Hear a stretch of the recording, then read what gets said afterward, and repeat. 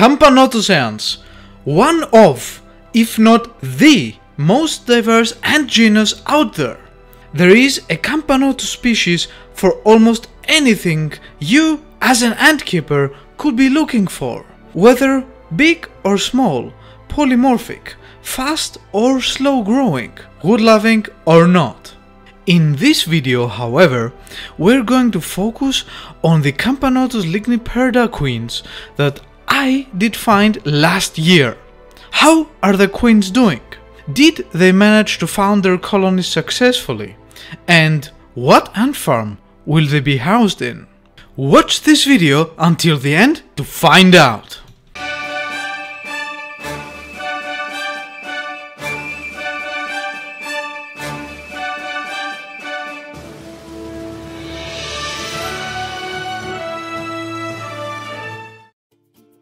Hello and welcome or welcome back to Ants Vienna. If you're new to the channel, here we cover everything you need to know if you aspire to start keeping ants as pets. And if you are a long-time subscriber, I owe you a sincere apology for not posting a new video sooner. A lot has happened in my personal life over the past few months. In fact, a lot is happening behind the scenes at the moment, and I can't wait to show you more when the right time comes. For now though, let's focus on our beloved Camponotus ligniperda ants, the largest European ant species. Here are the queens I caught last June 2023. I did share a few short videos of them at the time, so feel free to check those out. Every queen I caught managed to found a colony. That being said, some queens are naturally better than others in being mothers. So, while a few of the queens managed to raise up to 12 nanitics, others only managed half of that. In this video, I plan to take you with me and have you look over my shoulder on how I set up an ant farm, also called a formicarium, for these young, growing ant colonies, helping them to thrive in the future. For starters, a simple ant farm will always be the best choice. So, go to IKEA and grab yourself a Godmorgon set of acrylic containers. This is what we will be using in our footage. These containers already come with a hole in their top, so you simply need to glue some steel mesh onto it, so ants have proper ventilation and cannot escape.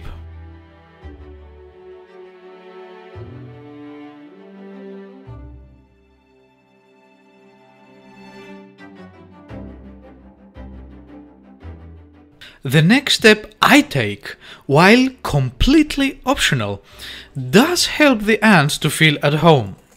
So, I add some terrarium sand and disturb it evenly across the bottom of the container.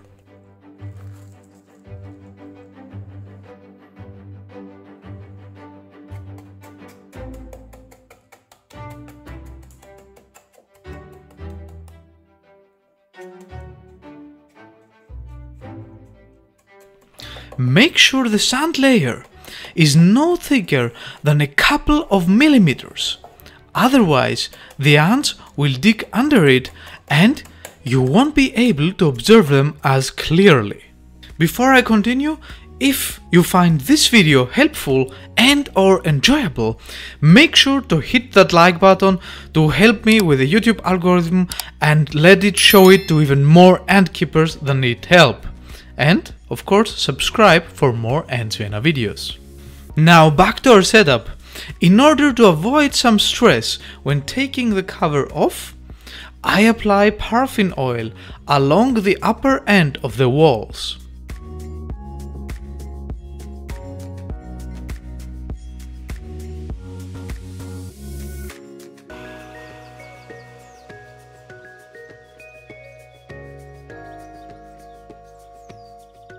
This will be our escape prevention mechanism. When ants try to cross it, they slip down, so they can't get out. The thickness of the application should be around twice the length of a worker ant. For our Camponotus ligniperdos ants, that means around 2 centimeters or an inch. To prevent the colony from drought, we will fill up a Biformica liquid ant feeder with water. Remember, ants need access to water at all times. If you want to know more about what ants need to survive, I have already made a video on ant food sources. Speaking of food, for feeding purposes, we shall add a 3D printed feeder to the setup. In this, we will be placing our protein, our honey water, our sugar water, whatever you might be feeding your ants. With all of that done, let's now check how the worker ants of our ant colony react to their new home.